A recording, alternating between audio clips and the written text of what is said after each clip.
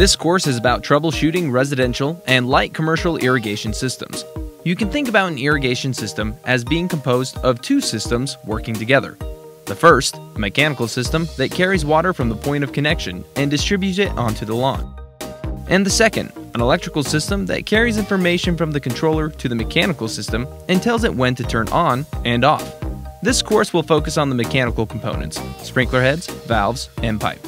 We'll discuss how to diagnose common problems with each of these components and how to solve these problems quickly and efficiently. The most common irrigation system problems associated with the sprinkler head are coverage problems, leaks at individual sprinkler heads, and obvious sprinkler failure. We'll discuss each of these in turn, identifying the symptoms, discussing the potential causes, and recommending a solution. Symptom number one the turf is stressed due to inadequate or uneven water application. This can take the form of rings, dry areas, stressed plants, and other evidence of patchy water application. If the turf is stressed, something is preventing the water from reaching its destination as it was designed, or should have been designed, to do. The first thing to check for are physical obstacles that might be getting in the way of the water. A common problem with older systems is that the sprinkler heads sink into the ground, causing the head to be too low to deliver water effectively. When you turn the system on, look at each sprinkler head to make sure that it clears the turf. If the heads are low, you will need to reset the head to make it level with the base of the turf. Sometimes you can raise the head simply by adding a threaded male adapter between the swing pipe fitting and the threaded outlet on the bottom of the sprinkler head to create the additional height needed. Another potential problem is a change in landscaping that causes the original design to become ineffective. This can happen if new landscaping has been installed or if plant growth has caused obstructions not foreseen in the original design. A solution can be as simple as adding an extension to a spray head to help it reach over the top of a shrub. Sometimes you'll need to move sprinkler heads to address the issue. If there are no physical obstructions that explain the coverage issue in a rotor zone, check the nozzles on the sprinkler heads to make sure they are correctly sized for match precipitation. Quarter circle rotors should have nozzles with half the precipitation rate of half circle rotors and a quarter of the precipitation rate of full circle rotors. Half circle rotors should have nozzles with half the precipitation rate of full circle rotors. If we consider this chart for K-Rain RPS 75 nozzles, we can see that if a half circle rotor is on the same zone as a quarter circle rotor, and the quarter circle rotor has a number 1.5 nozzle, with a flow of 1.4 GPM covering a quarter of a full circle, then a half circle rotor should have been a number 4 nozzle with a flow of a 3.0 PGM, about twice of that of the quarter circle rotor because it covers twice the area. Sizing gallon flow to the area of coverage will result in matched precipitation over the entire zone. If precipitation rates are not properly matched, you can easily address the problem by changing the nozzles. Be careful, though, to attend to the total number of gallons per minute on the zone, this should not exceed the maximum flow rate for the system. Aiming for approximately the same total flow rate with new nozzles as with the old ones will ensure that there is enough flow for the zone. For instance, if you have a zone with two quarter circle rotors and two half circle ones, all with 2.0 gallon per minute nozzles, you have an 8 gallon per minute zone. If you change the half circle rotors to a 4.0 gallon per minute nozzles, the zone becomes a 10 gallon per minute zone, which might be too high for the system. A safer choice would be to replace the quarter circle nozzles with a 1.0 gallon per minute nozzles to achieve matched precipitation, which creates a 6 gallon per minute zone and lowers the flow rate for the zone instead of raising it. If obstructions or matched precipitation aren't the problem, there could be a water pressure issue that is preventing the sprinklers from delivering water evenly over the area. To get an accurate reading of the pressure, you'll need to measure the operating pressure. To do this, a pitot tube is a helpful tool. It's essentially a thin metal tube that can be inserted directly into the stream of a sprinkler and attached to a pressure gauge to give a quick reading on the operating pressure at the head. Spray heads require an operating pressure of 25 psi and rotor works best at a 50 to 60 psi. If the pressure is too low on a single zone in a system, the zone might have too great a flow rate to maintain optimal water pressure. You can re-nozzle the zone with smaller nozzles to improve pressure. The smaller nozzles reduce the flow rate, and the lower flow rate reduces the pressure loss in the pipe. This is what increases the pressure available at the sprinkler heads. If you change the nozzles, be sure to increase the runtime for that zone to account for the new precipitation rate. If all the zones on the system display pressure problems and there is no visible leak in the system that might be causing the pressure loss, the water pressure from the city may be too low to operate the system. Contact the water purveyor to verify the water pressure on site, or use a hose bib gauge. If it is indeed too low, you can install a booster pump at the source to create an additional pressure necessary to operate the system. If there are no physical obstructions, the nozzles are selected for match precipitation, and the sprinklers have enough pressure and are working properly, it is possible that they've been installed too far apart. Measure the distance between the heads to see if it is within the parameters for head to head spacing. For a typical residential or light commercial system designed with square spacing, this is equal to the published radius of the sprinkler, with the installed nozzle at the available pressure.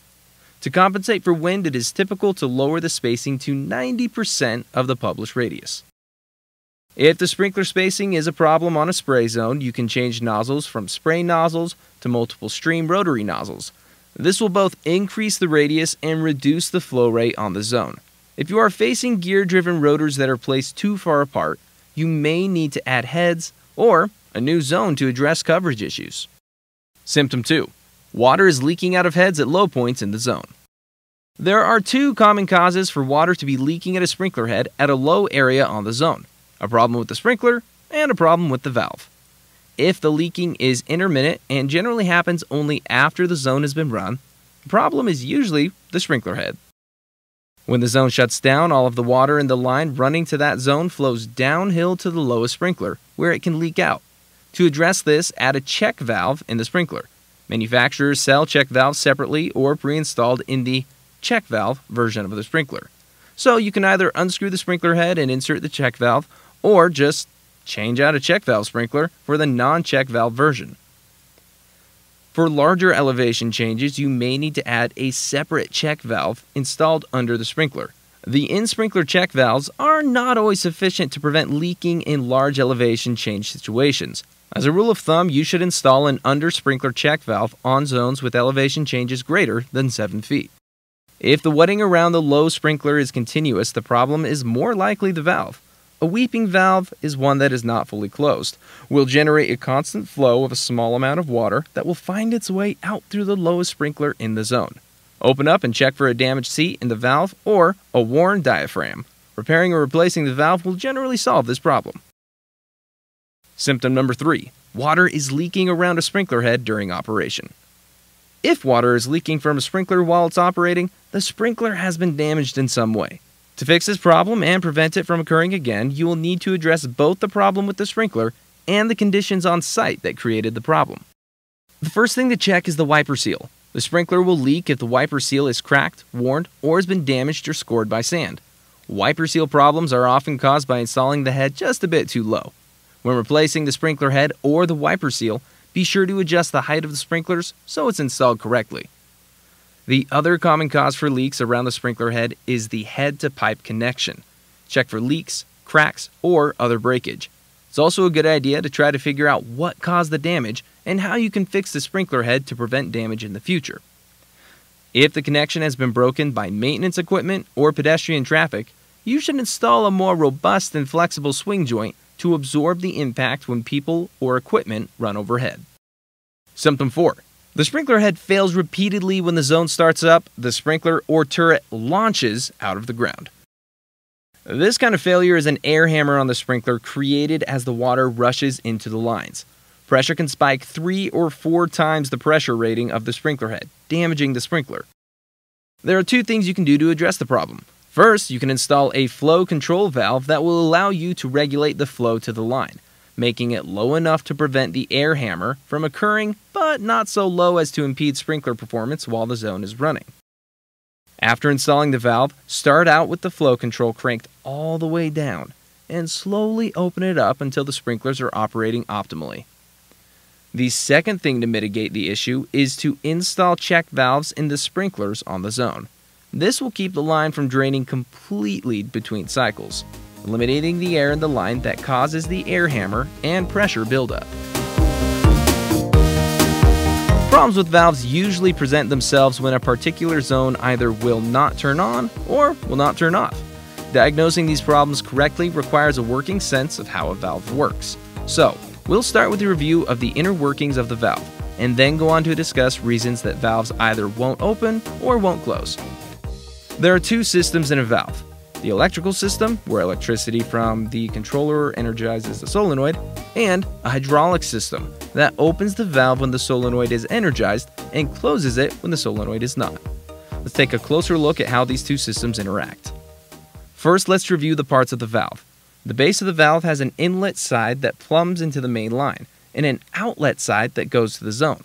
There's a rubber diaphragm that separates the inlet and outlet ports in the base from the chambers above it. It has two holes in it, the first is a metering system that allows water from the main line to pass through the diaphragm and fill the chamber above the diaphragm. The second is an exhaust port that allows water to flow out of the chamber above the diaphragm and into the zone line. The solenoid screws onto the valve. The plunger inside the solenoid, when not energized, is seated on the exhaust port. When the solenoid is not energized, the valve stays closed because as water flows from the main line into the valve, some of the water flows into the chamber above the diaphragm through the metering system, filling up that chamber with water. With the area above the diaphragm full of water, there is equal water pressure on both sides of the diaphragm, but the valve is designed so that there is more surface area in the chamber above the diaphragm than in the inlet from the main line below it. This presses the diaphragm down and seals off the flow of water from the main line preventing any more water from flowing through the valve.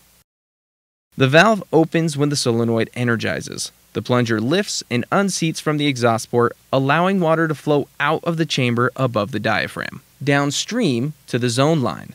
There will still be water flowing into the chamber through the metering system, but water will flow more quickly out of the exhaust port.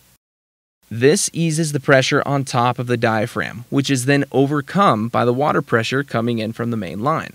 Water from the main line then forces the diaphragm open, and water flows out to the zone. While the valve is in operation, there's always water going into the chamber above the diaphragm. It just goes right back out the exhaust port. When it is time for the valve to close, the controller stops energizing the solenoid, causing the plunger to drop and seat on the exhaust port. This prevents any more water from escaping from the chamber above the diaphragm. Water still flows into that chamber through the metering system, but now it can't get back out. Once the chamber is full, the water puts pressure onto the larger surface area on top of the diaphragm, causing it to close again. When there are valve problems, the body of the valve usually isn't the problem, but the internal components that do the work to make the valve open and close. The plunger, which must move freely up or down. The exhaust port, which must open and close without clogs or damage and allow the plunger to seat securely. The metering system, which must remain open to allow water to flow into the upper chamber of the valve. The diaphragm, which must seal properly. Now let's consider the most common problems with valves. Symptom 1. A valve stays on. This means that sprinklers in one area of the irrigation system run continuously except when the main water is shut off. In this scenario, the first thing to do is to verify that the problem is at the valve and not the controller. If the controller is continuously sending power to the solenoid, this would prevent the valve from closing. Using a multimeter to check at the controller if there is power going to that zone. If so, there is a problem with your controller. If the controller is not the problem, the problem is at the valve itself. Take off the solenoid and check to see if the plunger is hanging or if it is moving freely. Debris can get into the solenoid and cause the plunger to get stuck which will prevent the valve from closing. If this is the problem, rinse out the solenoid to free the plunger. The next thing to check is the seating of the plunger on the exhaust port.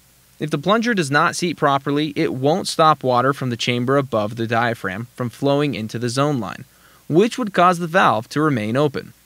If the solenoid plunger is moving and seated properly, the problem is likely with the metering assembly or the diaphragm. Disassemble the valve to access these components. You can find the metering assembly on the diaphragm by looking for the small screen designed to prevent debris from getting caught. Rinse this thoroughly to dislodge anything that might have got stuck in there. Look for tears or other damage to the diaphragm that would prevent it from closing properly. Check to see if the seating surface is clean and undamaged. Once you have replaced any worn or damaged parts and reassembled the valve, check the zone with the controller to ensure that it is working properly. One small reminder if this is a new system and everything inside the valve is working properly, but the valve still won't close, make sure that the valve is installed in the proper direction. A valve installed backwards will close once, but afterwards remain open. Symptom 2 The valve won't activate under power. If the valve won't open, the first thing to check is whether there is power at the valve. You'll need to check this in two places at the controller and again at the solenoid. This will determine whether the problem is at the controller, in the wiring, or in the valve itself. Once you have determined that there is power at the valve, the most likely causes for the problem can be checked without disassembling the valve. If you are servicing a flow control valve, check to make sure that the flow control is open. Next, try to manually bleed the valve by twisting the solenoid. This mechanically unseats the plunger from the exhaust port, allowing water to flow out of the chamber of the diaphragm and causing the valve to open. If this solves the problem, the issue is likely with the solenoid.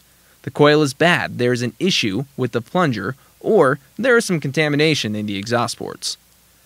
Unscrew the solenoid and examine the plunger to see if there is debris causing the problem. Check to see if the plunger moves freely up and down, and clean out the exhaust port with a stiff wire. Once clean, check to see whether the plunger rises and falls as the solenoid is energized by the controller. If not, the solenoid is bad and needs to be replaced. Occasionally, there's a problem with the diaphragm or metering system that causes a valve not to open. In this case, replacing the diaphragm assembly should solve that problem. The two main problems associated with pipe and fittings are leaks and water hammer. We'll start by talking about water hammer. Symptom Water hammer sounds like a thump or pounding noise that happens when a valve in the irrigation system closes. The cause of this sound is a shock wave that is created when the water moving through the pipe is suddenly stopped by a quickly closing valve. The kinetic energy in the water bounces off the valve with the thump and sometimes travels back and forth in the pipe, causing a hammering sound after the pipe closes. Because moving water can carry a lot of force, the shock wave can cause damage to the pipe, fittings, and components connected to the pipe. The primary culprit in cases of water hammer is the velocity of the water flowing through the pipes. If the flow rate of the irrigation system is too high for the pipe size, the water can speed up fast enough to cause water hammer. The best way to prevent this is to design the system so that the velocity in the lines is below 5 feet per second. Looking at a sizing chart for PVC pipe, we can see that the chart tells us what the velocity of water will be in different pipe sizes at different flow rates. Keeping the velocity below 5 feet per second is recommended to prevent water hammer. So on the chart, flow rates with velocities above 5 feet per second are shaded in a darker color. If we are using 1 inch PVC pipe, we can see that the maximum flow rate for a zone is 16 gallons per minute, which has a velocity of 4.61 feet per second. If you are having water hammer problems in the irrigation system, you might have an oversized zone that is speeding up the water too much. Suppose you have six sprinklers with 3.0 gallon per minute nozzles on a zone with 1 inch PVC pipe. The zone uses 18 gallons per minute and will create a velocity in the pipe of 5.19 feet per second, potentially creating water hammer issues. Renozzling the sprinklers in this zone to 2.0 gallon per minute would lower the flow rate for the zone to 12 gallons per minute and would eliminate the excess velocity in the pipe. Another potential solution to water hammer issues is to install slower closing valves. Larger valves close more slowly than smaller ones, so sizing up the valve could solve the problem as well. The other potential solution for water hammer is to try to install a water hammer arrestor behind the valve where the water hammer is occurring. A water hammer arrestor is a mechanical shock absorber that disperses the shock wave, preventing it from traveling any further along the pipe. Symptom a split or broken pipe, which usually causes a wet spot in the lawn or water visibly flowing out of the ground. Fixing a pipe usually involves cutting out and replacing the bad section of the pipe. Dig up the broken area of the pipe. A common mistake when fixing leaks is to dig the hole too small. Make sure there's room on either side of the break. You'll want to have 12 to 18 inches of pipe visible to work with. When working with PVC, a telescoping coupler, sometimes called a slip fix, can speed up the process. Cut out a piece of pipe long enough to accommodate a slip fix and an additional coupler. First, you'll need to attach the coupler to the telescoping end of the slip fix. Use primer and solvent cement or a one step cement like Christy's Red Hot Blue Glue. Prepare the ends of the pipe and insides of the slip fix and coupler. Slide the slip fix over one end of the broken pipe and then extend the telescoping end with the coupler so that the coupler slides over the other end of the broken pipe, completing the repair. Repairs in polyethylene pipe can be somewhat easier because the pipe is more flexible than PVC. The pipe can be repaired by inserting a new piece of pipe with couplers. Symptom Leaking water at a threaded connection, on a metal pipe, or in another difficult to repair area where replacing the bad pipe would be cost prohibitive. Sometimes you'll encounter leaks in places that don't lend themselves well to cutting out the damaged pipe and replacing it with a new section of pipe. In these cases, you can use an epoxy based repair kit like Christy's Slick Wrap to do a wrapped repair. Be sure to follow the instructions on the package as products vary on the specifics of how to use them. You'll need to turn off the water and clean the leaky area of the pipe. Then aptly apply putty to the problem area and wrap it with an activated epoxy resin tape. This creates a watertight seal over the leak. This concludes our course on troubleshooting the mechanical components of an irrigation system sprinkler heads, valves, and pipes.